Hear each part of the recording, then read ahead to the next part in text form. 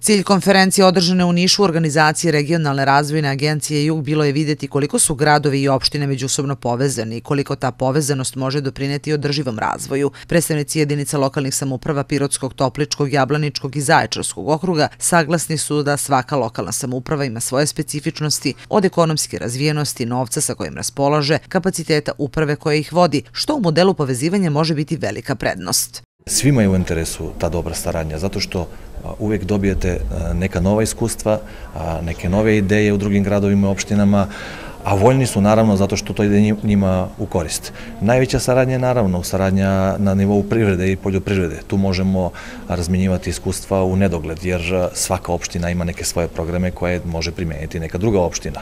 Tako da ta razmjena iskustva je jako bitna svim opštinama. Grad Pirot predstavljala je Marija Đošić, šefica Kancelarije za lokalni ekonomski razvoj, koja vam prilikom rekla da je povezanost među opštinama i gradovima neophodna, istakavši da Pirot u mnogo čemu prednjači i primjer je dobre prakse. Taj plan razvoja je usvojen za period od 7 godina, nakon čega smo znači, počeli s izradu srednjoročnog plana grada, isto je među prvima izrađen u Srbiji, našao se u priručnuku eh, Republičkog sekretarijata za javne politike kao primjer dobre prakse i prosto kao eh, uputstvo instrukcije kako to treba raditi. Zajedničkom inicijativom više gradova i opština mogu se dobiti konkretniji rezultati. Zato je Regionalna razvojna agencija Jug pre tri godine pokrenula formiranje pet savete koji bi okupili predstavnike lokalnih samuprava, eksperte, predstavnike civilnog sektora. Prvo okupljanje saveta očekuje se u septembru. Saradnja gradova i opština sa organizacijama poput Regionalne razvojne agencije Jug i stalne konferencije gradova i opština je više struko značajna. Zajedno možemo da apliciramo kod donatora ili da pošaljemo neku inicijativu u vladi koja će možda prepoznati